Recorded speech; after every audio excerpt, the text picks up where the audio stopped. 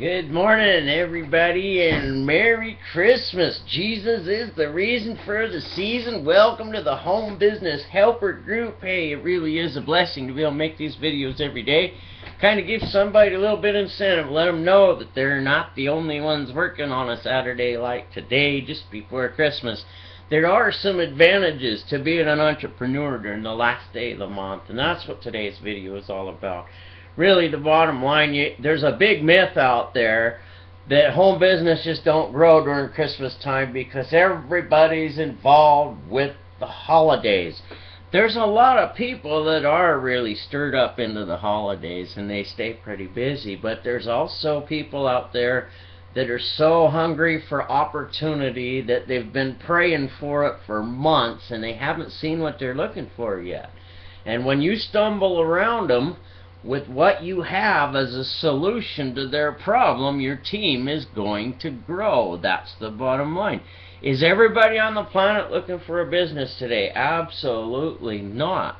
So don't take it personal when somebody's too busy for the holidays, but also recognize the tax benefits behind working to get somebody started in a home business before the holidays. Now, I'm not an expert or anything, but I can tell you this I've seen people start businesses in December for 500, 600, 1,000, 2,000, 5,000 bucks and March rolls around, here comes their income tax return. They get their startup costs back for the business that they started before the year got to end.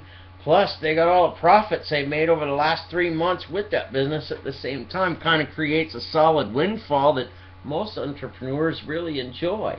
Now, if you are a person that's looking for a way to have more money than month and get rid of the problem of more month than money, you're in the right place.